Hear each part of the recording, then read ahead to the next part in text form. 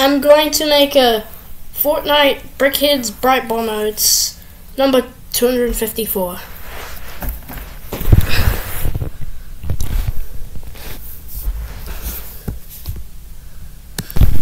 Uh, first update, I finished the body part. This will probably be a very short video.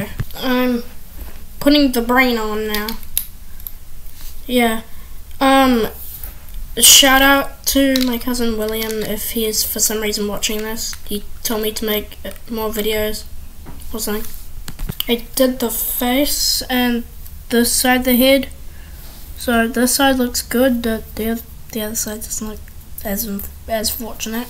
I did this side of the head and this side, so all the sides except the top look good. So gonna do that now. She has her glasses and looks better on the top. Yeah, now I need to do something about the bottom. So yeah, she's almost done. well, the most notable thing I have to do is her ponytail now. So I'll do that. I did her ponytail, gave her a pickaxe, just gotta like uh, put her on here on the stand.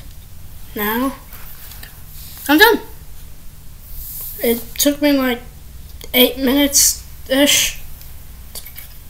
Pretty cool, I guess. Gonna go put it on my shelf now. There it is. Alright. Bye.